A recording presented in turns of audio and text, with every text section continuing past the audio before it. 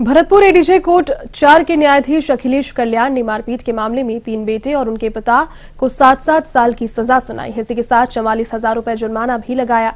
मामला दरअसल नदबई थाना क्षेत्र का है, जहाँ गणेश भट्टा मालिक अपने भट्टे पर बैठा हुआ था। उसके साथ कुछ और भी लोग थे। तभी बहादुर बगैरा ने लाठी डंडों से सुरेश सहित अन्य लोगों पर हमला कर दिया, जिसमें कई लोग जख्मी हुए।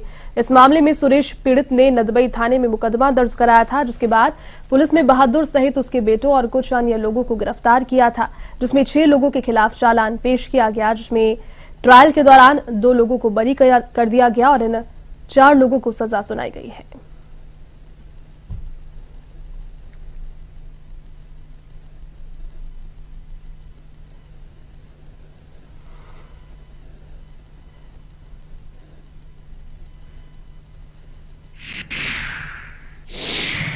नदबई थाने में। नदबई थाने में।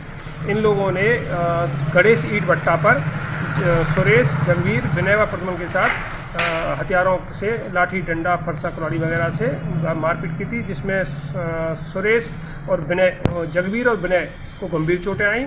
सुरेश और प्रदुमन को घायल घायल हुए थे, जिसमें न्यायालय श्रीमान के समक्ष चालान पेश हुआ था।